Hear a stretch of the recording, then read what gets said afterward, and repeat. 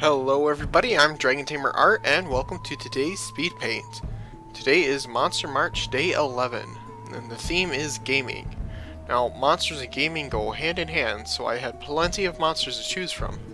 After about a day of debating it, I finally settled on the Redeads from Legend of Zelda Ocarina of Time. With that out of the way, let's get into the video. Here's the model I'll be using for the Redead. Nothing all that complex, it's just a shambling undead after all.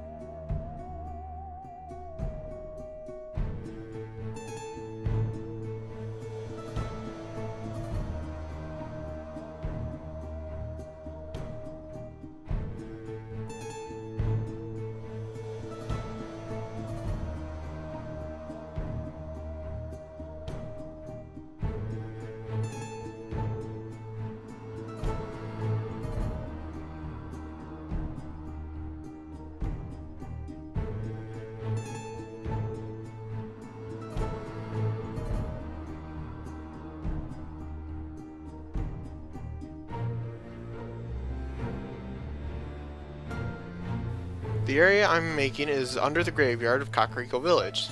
As Child Link, you come here to learn the Sun Song, and you can also find a free Hylian shield as well. So I guess, according to The Legend of Zelda, brave robbing is okay if you're the hero of time.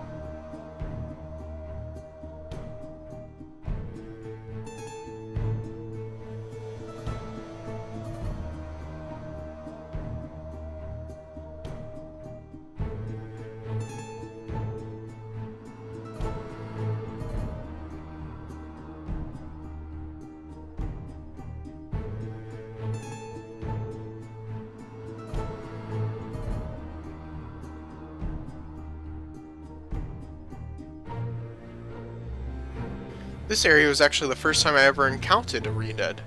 Ocarina of Time 3D was my first ever Zelda game, so I was going in blind and was caught completely off guard when I find these screaming, slow-moving, faceless monsters.